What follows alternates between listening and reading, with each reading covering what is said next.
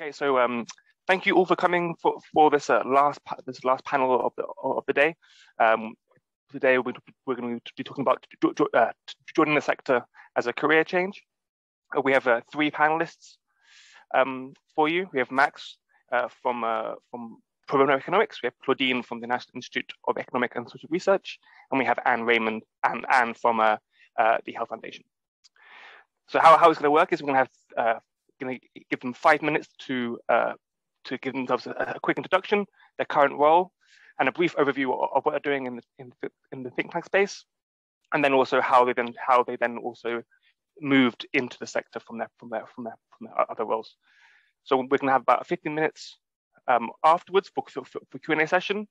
Um, and if you could either raise your hands at the, at the, end, at the end of the, the session or um, just just pop your questions in, chat and I'll um, direct the questions to our three great panelists. So um, we'll start with sort of Max. Thanks, Jamie.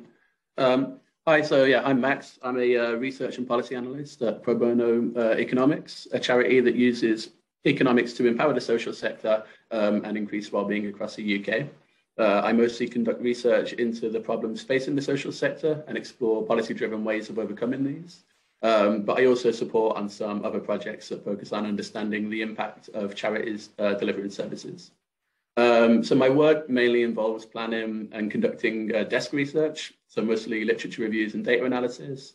Um, but I also support the work of other members in the research and policy team, help to coordinate uh, projects and inputs from our external network, and work with our communications team to produce our own uh, sort of research reports. Um, I'm about to begin some qualitative research, hopefully interviewing some grant makers, which is a new experience for me. And um, I'm also going to be working on developing some policy for the first time. Uh, prior to joining PBE, I was working in academia. I got my PhD in musicology and Africana studies, um, which involved a combination of desk research, teaching, and a variety of uh, administrative functions.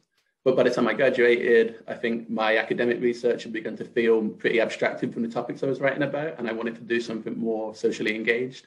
Um, and so working in a think tank seemed like an obvious transition, and there's a good amount of literature uh, sort of targeting academic, uh, academia leavers that advocates for it. So uh, the summer I graduated, I, I, started applying for jobs with think tanks, um, working on a range of topics from civil society to environmental issues. Um, I didn't know much about the topics, but I focused on uh, jobs whose skill requirements aligned most closely with my experience. And I tried to build my applications around transferable skills like research skills, planning and conducting projects to deadlines, and communication skills. Um, so I've currently been at PBE for about 18 months. When I first joined, I didn't know much about the social sector, and I didn't have uh, much experience in either quantitative or qualitative research methods. Um, but I found that my desk research skills have been pretty transferable, which has allowed me to learn a lot about the social sector and contribute to some to some research projects. Uh, and I've also been fortunate to get the chance to begin developing some new skills. So, for instance, I've begun developing some skills using data-driven programming languages. Um, and some of my favorite moments working at PBE so far, I've actually been working on projects involving lots of data work in Excel and R, which has been uh, pretty surprising given my background in the in the humanities. Um, with that being said, the transition has also required some uh, adaptation. I would, uh, I'd say that the the pace of research is quicker in the think tank sector, and you move between topics a lot more. Um, it involves a lot more team working than was my experience of academia. You have to be able to strategize with people, and delegate, and be a good team player. Uh, you spend a lot more time in meetings with a wider range of people, from civil servants and academics to practitioners in your area. Uh, the, the modes of communication are quite different in terms of things like target audiences, language and tone, and, and the output you produce. And you also need to be able to produce content in a, in a range of styles, from sort of short micro blogs to longer form research reports. But uh, fortunately, you'll likely have the support of the comms or external affairs team who can sort of guide you there and help also drive the impact of your work. Um, overall, my experience is that the transition from academia into the think tank world sort of turns on a, a, set of pivot points. So like your research skills and, and, and the other experiences you, you, you gain in, in academia um, can sort of help you hit the ground running, but you just have to be open to learning new skills and ways of working. Um, but my experience has been, as you sort of begin to see the impact of your, the, that your organizations have, it can be a, a really rewarding sector to work in.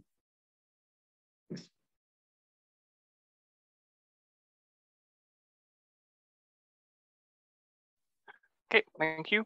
Um, now, next we're going to have um, Claudine speaking, please. Yeah, hi, hi, um, evening everyone.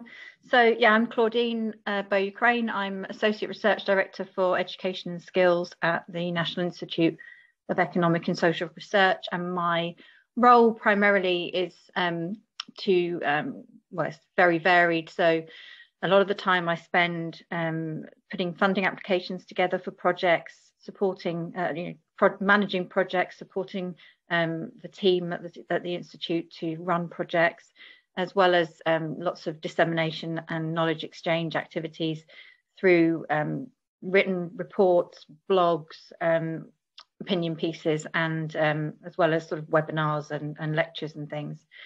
Um, my background, like Max, I come from a career in academia. So my career before I joined NIESR followed a typical academic path, so undergrad, PhD, postdoc, and then lectureship, senior lectureship, um, and um, you know that and, and, all that that entailed in terms of juggling the teaching and the administration as well as trying to do the research, um, which uh, you know is, is clearly quite quite difficult, particularly in the recent years in higher education. Um, and during that time, my research really became increasingly more applied. So my field is um, children's reading and language development. And um, after my PhD, I moved away from sort of theoretical kind of um, looking at the, the sort of theories behind children's reading and language development to looking at designing and evaluating interventions for children who have language difficulties. And then um, about five, six years ago, I got involved in a project called Better Start Bradford, which is a public health project um, commissioned by the National Lottery that looks at improving the life chances of children and families in Bradford through commissioning lots of different services, including speech and language services. And I was involved and still am involved in the evaluation of those services. And so I really felt that I wanted to move away from the higher education um, route of research, which primarily relies on um, getting your research out through peer-reviewed journal articles, you know, your your um, metrics of, um, uh, you know, you're judged on how many peer-reviewed journal articles you've got out. And I wanted to move it to a more a sector where it was more about what a difference you can actually make to people's lives, and to try and get that research to policy to practice um, pathway moving much quicker than a sort of waiting two years for a research article to get published. And so I applied for the job at NIESR, and, and that's where I am now. And like Max, I think I agree. Um, the research cycle is much quicker. Um, it's a much, much uh, quicker pace of research. Funding applications go in, um, projects can start very quickly, whereas you know in the academic sector, typically, you know, the funding application will go in, it will take about 18 months before you can even start it. So the, the pace is quicker, but the the other thing I other thing I really like about it is that the um, the level of bureaucracy is much much more reduced. Things can happen much more quickly, and you can get your research out much more quickly than um, than typically you can in when you're in higher education. Um, so I I think it's been a very positive move and um, one that I'm glad I made about 18 months, two years ago. Well, just before the first lockdown. So that that long ago. That's it. That's me. Okay, thank you very much. Um, next we have Anne. Hi everyone, I'm Anne Raymond. Uh, I work as an economist for uh, the Health Foundation, which is basically an independent charity that aims to improve the health and care of people in the UK. And um, it tries to do this through a number of different ways. So it provides basically funding to different organizations that work in the health and care space. Um, it tries to um, influence policy making. Um, and it also, uh, the organization does its own sort of in-house research and analysis, which would help create a better evidence base um, and make sure that policies have like really strong um, research and data underpinning them. Um, so within the Health Foundation, I work in this team called the REAL Center. REAL is an acronym, it stands for Research and Economic Analysis in the Long Term. So this is a relatively um, new team. Uh, we are a group of um, economists, um, project managers, and analysts in the team. And what we try to do is basically um, we uh, again like produce evidence, try to inform public debate through research and analysis, which mainly informs long-term decision making. So we try and um, sort of influence policymakers and make them think about the implications of you know decisions that they make and the consequences it can have like maybe 10 to 15 years from now and make sure that when they make those decisions they have like a really strong evidence base and analysis underpinning it. So that's um, that is basically what my specific team does. Um, so as part of the economist role, what I do on a day-to-day basis, I do a lot of um, statistical analysis using um, different data sets, mainly um, patient data, um, using the software called R. um, involved in basically project planning, project management, um, and uh, doing things like literature review for the project, making sure that uh, what, how do we, how does the evidence that we are going to put out contribute to what's already out there. Um, and then we um, communicating. So I think what Max spoke about communicating your evidence, your outputs is also like a really integral part of my role. Um, uh, so yeah, so making sure you know who is your target audience, like how do you communicate your findings, like what are the best avenues to do that. So that is, um, yeah, that's also a very critical part of my role. Um, before coming to the Health Foundation, I used to work for the Greater London Authority. So that's basically London's uh, government. And uh, within uh, the Greater London Authority, I was a research analyst for the London Assembly. So that is a group of elected politicians called the Assembly members who basically hold the mayor of London to account and uh, scrutinize his policies. So again, it was really important that for effective scrutiny, you basically need to have like really strong research underpinning it uh, to make sure that, yeah, you're doing a good job.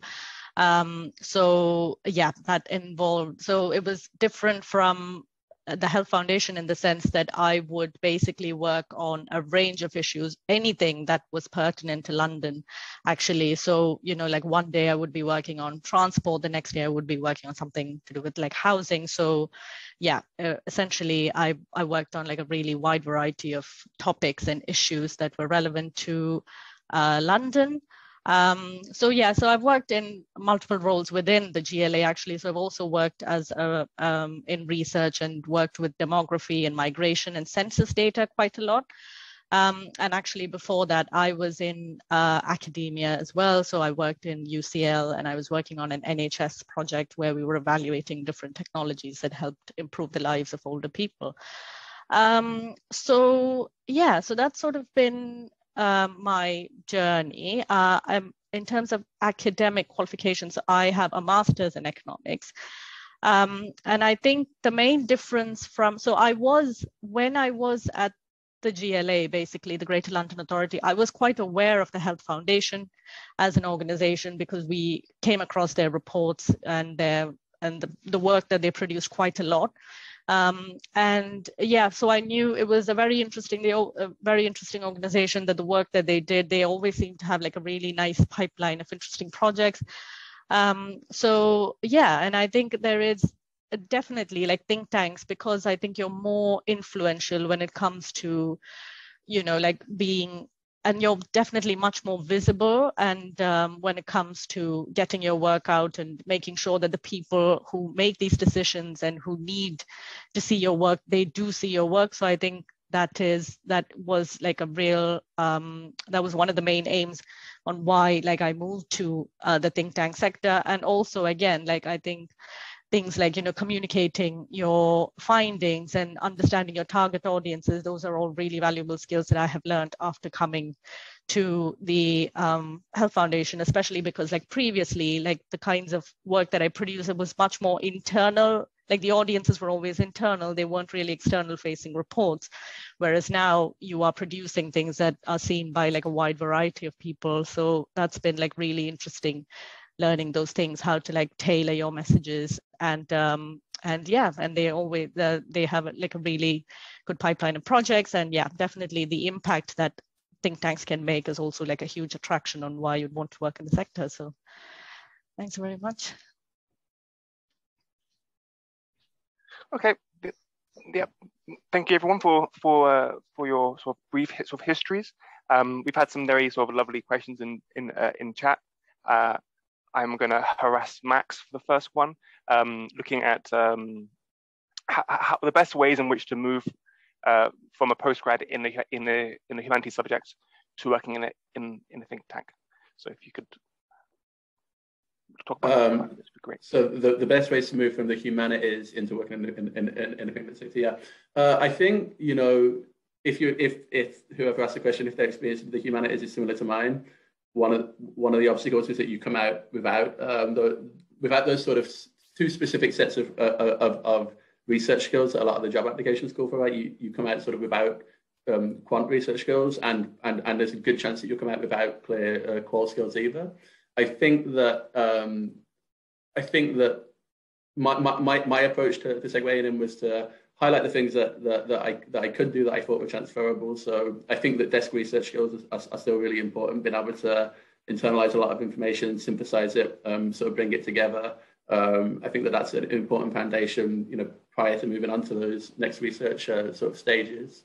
I think um, gesturing towards these other skills that both uh, Claudine and Anne brought up, I think, think, think things like communication skills that you might have gained through um, through presenting at conferences or through any teaching that you've done and things like that. Uh, there, you know, there, there, there sort of things uh, surrounding research that, that, that, skills that you might have, even sort of um, administrative uh, experience that you've done and things like that can, can all sort of um, be brought in. And then I think the other side of it is uh, sort of showing an interest and maybe aptitude for developing new skills, like maybe showing an interest in developing those qual or quant skills um, and and gesturing towards moments perhaps like I, I had a little little bit like during like an undergrad dissertation I wrote on Mozart where I did a little bit of um, data work you know uh, like uh, you know digging through his herb and you know you can point to that and say it's not it's not you know I'm not an economist but I, have I've shown an interest in working with numbers in the past and I think picking out moments like that can can sort of help make your cover letter or your CV make it a bit more tangible.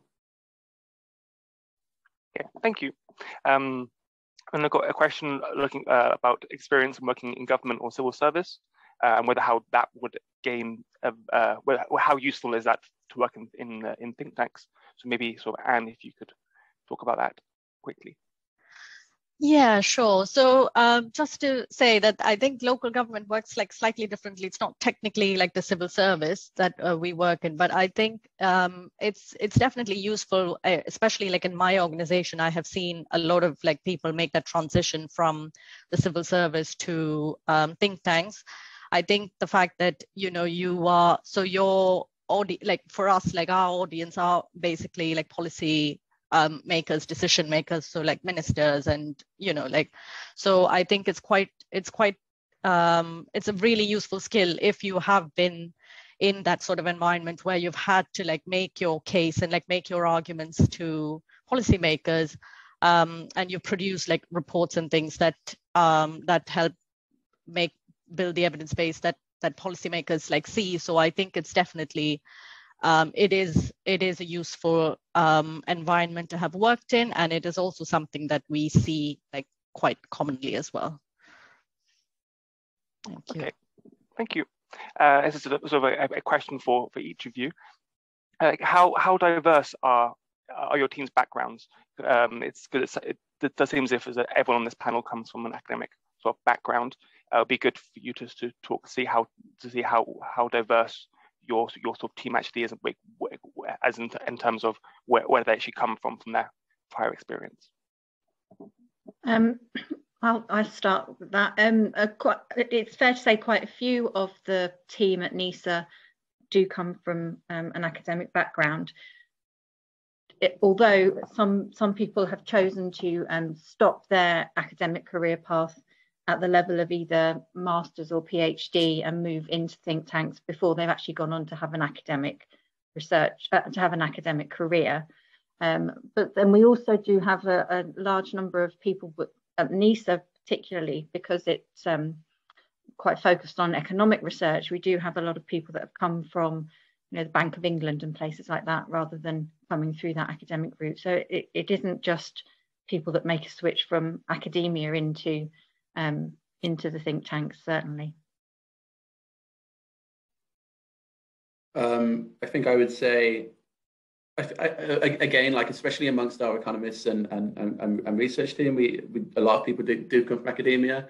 Um, I think that like there's it's worth noting that not all of not all think tank work right is is research work. We also have like a big comms team, and our com, our comms team uh, have backgrounds in, in politics and in journalism, um, and so definitely there that you know uh, you you might be less likely to find people with um, with backgrounds necessarily in academia, um, but also not all of our researchers uh, uh come from academia. Some of them have, have, have sort of done sort of think tank proximate work previously, like um, doing research work in, in, in the public sector, for example. Um, so, but yeah, uh, academia, academia is pretty prevalent, but A, I wouldn't say, not, not all of our researchers are acad uh, previous academics, and there are a variety of roles that don't necessarily pertain directly to research and policy development. Yeah, so within my specific team, um, I think, yeah, we have a few people, again, who've come from the civil service, actually. We have a mix of, yeah, so we have civil service, um, other think tanks, as well as um, academia. But again, like Max pointed out, so this is like an analysis economics team. We do have a policy team, um, another team that looks at sort of like the wider determinants of health. We have, again, like the communications team, a research team. Uh, so yeah, and also we being a health think tank, we also have a lot of people coming in from the NHS as well. Um, so yeah, I would say that um, academia is by no means like that. That is represented as a sector, but we definitely have people coming in from the civil service and the NHS as well. Okay, thank you. And then a question for for everyone, if I if, if I may. Um, so um, in this in this in this um, in, not in this not, panel, not, not in this panel, but in, in, this session generally, it's been quite a large focus on quantitative research. Um, do think tanks require like a minimum level of quantitative research skills, or is there is there also a scope for more more qualitative more qualitative sort of work as well in your in your, in your think tanks? I think there's room, definitely at NIESR, there's um, room for both, and it will just largely depend on the piece of research that you're doing.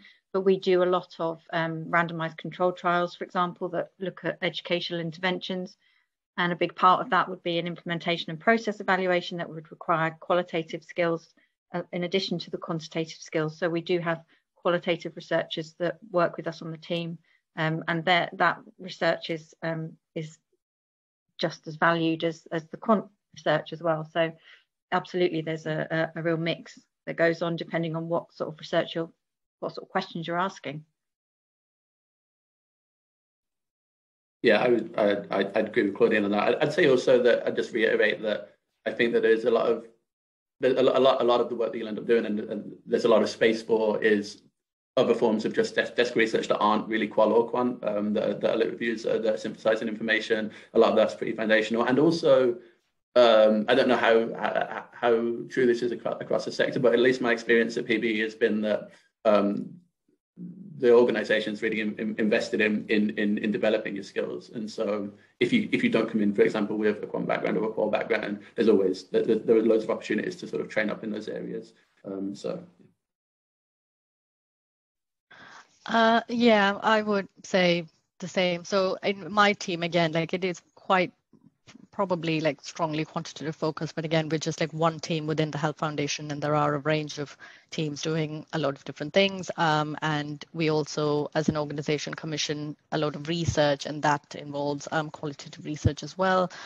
Um, and yeah, again, like Max said, I think um, a lot of my day would involve like reading up on my you know subject area making sure that i um, i have more information about like what i need to be working on and that involves again like making reading things like papers and um, reports which is also basically research. And yeah it's not just like plugging away at spreadsheets or like coding all day. Like that's definitely not the case at all. So. Okay great. Um, some more questions appearing in in, in the chat um, one question, uh, talking about uh, coming into think tanks from either sort of a, a family break or a career sort of break, uh, and how and, and and whether we whether we know of anyone in our in our, teams who's who's who's gone through that sort of experience before.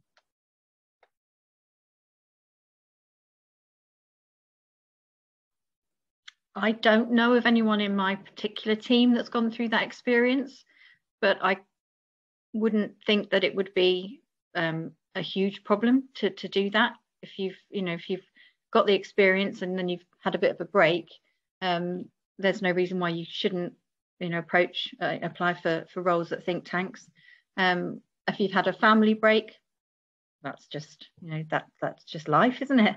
Um, if you've had a career break, then maybe sort of thinking about what the um, you know if you if you're jumping coming from another career, thinking about what skills you can bring with you from that to fit into the think tank. But I, I can't see it being a particular problem for, for think tanks in general. Yeah, um, I would. Yeah, I think I agree. I, I, I don't know. I've joined the Health Foundation a year ago, and until um, now, I haven't really come across anyone who has in the team who has come from a career or family break. But again, like I think recruitment in these organizations? Like I, we're mainly looking for things like what do you like match the skill sets? Like do you have an interest in like the area um, the topic that we're working on? And yeah so i don't think things like a career break would mark against you in any way. So don't be discouraged by that at all i would say.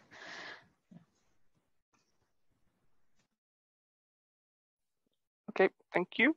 Um, I'm just trying to see if there's any questions I haven't sort of um, got to. Hey, we, have one one more question. So, like, how how would you present transferable skills in the cover letter and applications um, when the when the yeah how, how would you how would you best how, how would you best uh, yeah how would you best uncover your transferable skills from uh, your your transferable skills uh, into the sort of what the what the, the needs of a of a of a think tank? I think, um, and and this is just sort of advice you, you read a lot, right? When you when you read up on how to write a good a good cover letter, for example. But I think it's about really going through the the, spe- the, spe- the specifics of what the uh, job application calls for and trying to and trying to trying to be big. I think I think there's an element of being creative uh, and and and also sort of um, you know, being open to sort of all, all, all, of your experiences, even the ones that might not uh, seem immediately relevant. Uh, and, and I think try, trying to be, be, be really specific, not only about the, the calls in the job application, but trying to give specific examples where you've sort of done something that you, you, you could, you could see at least elements of it overlapping with, the thing that's been asked for. Um, you know, uh, my, my, my, my, my experiences were none of them aligned directly with the, with the things that pro bono economics uh, was, was asking for, but um, yeah, I was able to, to, to, sort of point to enough specific examples that had at least some, some degree of overlap that my application was still you know, successful in the end. So. Yeah, I just I would just totally agree with that. Actually, Max, it's it's a thing. It's about thinking outside the box and thinking not just relying on your on your work experience, but also on all of your life experience and putting that into um, the the person spec. And uh, like like you, Max, I um you know, I, I, work at the National Institute of Economic and Social Research and I'm a psychologist. So, you know, it, it, it doesn't always seem like you're the right fit, but, you, you know, you actually, if you think about it and you really try and look at the person spec carefully and think about all of the skills that you have, it, you know, surprisingly, you can find that actually it's the right, it's the right place for you. Yeah, and I think I would um, yeah, I would just add to that, especially I think we have a tendency for, especially when you have these sections on things like problem solving, you know, like decision making or, you know, bits like that. You would, if you don't have a lot of work experience, would be like, oh, what am I going to say for that? But that doesn't necessarily have to be, you know, like a work related thing all the time. Like you could, those are skills or those are things that you would have to apply in your life, like irrespective, like, or there might have been like different other situations when you were studying or you know in other completely other situations where you might have used those. So feel free to tap into those things and like use those examples. And um, i think if you have a story to say and if it's a compelling story then yeah people would definitely listen and be interested. Okay great. We have one one minute left. Um, uh, and i'm there's there seems to be a lot of questions that very specific sort of questions to certain certain to certain think tanks. I've tried my best to sort of uh, avoid those as we're looking at the more general, general uh, moving into career. Um, yeah, I think I think we can we can close the session here. So we're, we're so we're gonna all the all the um yeah. So thank you. So thank you all for coming. This is this is this is the, this is the last session, and all the recordings will be sent uh, to all the attendees uh, by email, so you can sort of look, look back at the other sessions sessions if you missed any of them. Um, okay. So uh, just thank you for thank you for all, all our speakers for for for for uh, for giving up their time and to have a to have this quite interesting interesting discussion about uh, working in think tanks. So yeah,